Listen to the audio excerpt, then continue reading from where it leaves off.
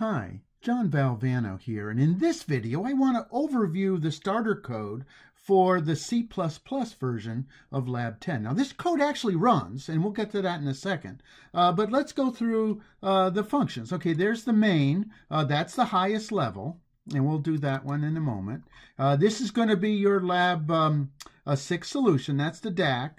Uh, the PLL, uh, you don't have to change, but that'll set the um, bus clock to 80 megahertz.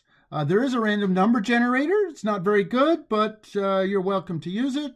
Um, you can see that this particular function is going to return a number between 0 and 255. Now, uh, you don't have to embed your Lab 7 solution because we're going to use a uh, this version of the driver, which has both the low-level busy wait and the high-level OutDec uh, in it. Okay? Now, um, slidepot.cpp is your lab 8 solution, which you do have to paste in here uh, so that you have the um, object uh, for the slidepot that you did in lab 8. Now, there are other videos about sound and the timers. Uh, so I'm going to put them off from this video. Uh, we skipped Lab 9, or the UART was part of Lab 9, the UART and the FIFO. And so unless you decide to use two um, uh, launch pads to solve one game, uh, you won't need the UART or the FIFO code. Okay, so let's go back to main and uh, review what it is that's in here, okay? Um, now, again, the assumption is you've watched the previous video that overviews the process. And so um, in here, we're going to just look at um, the C++ version uh, of this. So that's, again, that's my lab 8. Uh, this is the goofiness I have to use in order to call an assembly function uh, uh, from the C++. Okay, so again, uh, main.cpp is a C++, and these are assembly language programs, and that is actually a C function for the SysTick handler. Okay.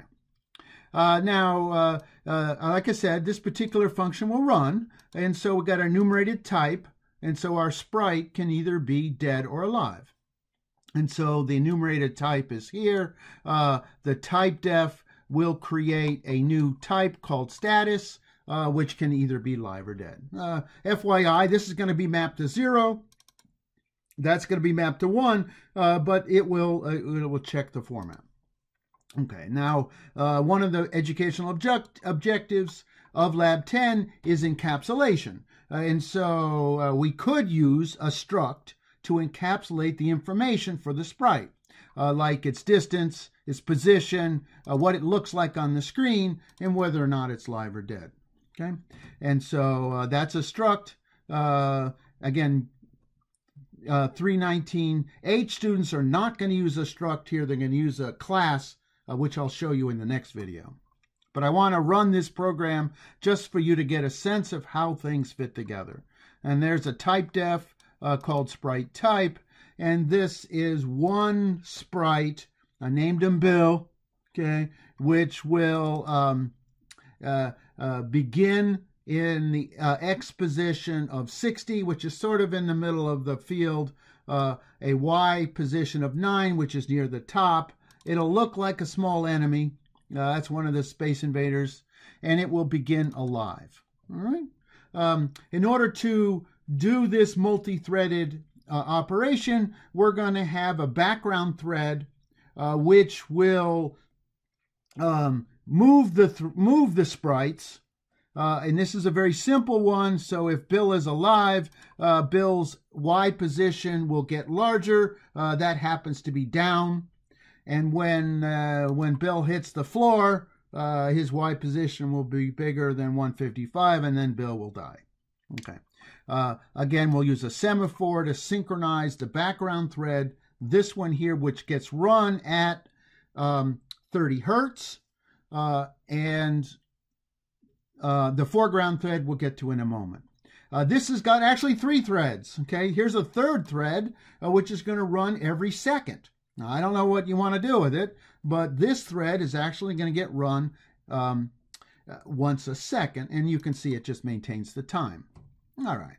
Uh, so again, this particular starter code will run.